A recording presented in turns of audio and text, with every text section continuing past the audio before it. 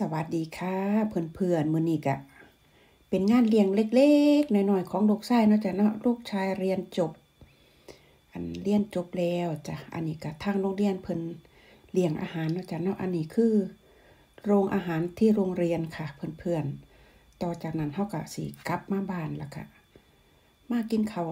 มากินอาหารเที่ยงกันต่ออยู่บ้านจ้ะพี่น้อง อันนี้อยู่โรงเรียนเด้อจ้ะเนาะโรงเรียนลูกชายเนาะจ้ะเนาะอยู่โรงเรียนลูกชาย Op, hè? Dat is goed. จบแล้ว Det har jeg heldigvis så nogle op i. Ja, men gjorde min bedstemor og farmor, så det ใช่ใช่ที่สองจบแล้วค่ะ var rosiner i uh, ting og så videre. อันนี้ก็เป็นบ้านอ่าลูกชายใหญ่เนาะจ้ะเนาะนี่ก็ลูกชายใหญ่เพิ่นก็เตรียมต้อนรับน้องชาย น้องชายเรียนจบแล้ว น้องชายเรียนจบแล้วพี่ชายกับเฮ็ดกับเขาเฮ็ดอาหารมื้อนี้เลี้ยงเล็ก ๆน้อยๆสำหรับภายในครอบครัวเฮาเนาะจ้ะเนาะแล้วก็มีพ่อดองแม่ดองมา ร่วมโต๊ะอาหารด้วยวันนี้ เป็นอาหารที่ลูกไส้เพิ่นเฮ็ดเนาะจ้ะเนาะก็มีเอ่อมัน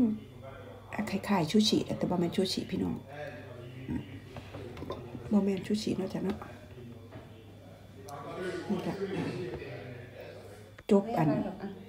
จบการศึกษามาแล้วค่ะจบเรียนจบมาแล้วค่ะมีการเลี้ยงสังสรรค์กันเล็กๆน้อยๆภายในครอบครัวจ้ะเพื่อนเขาเ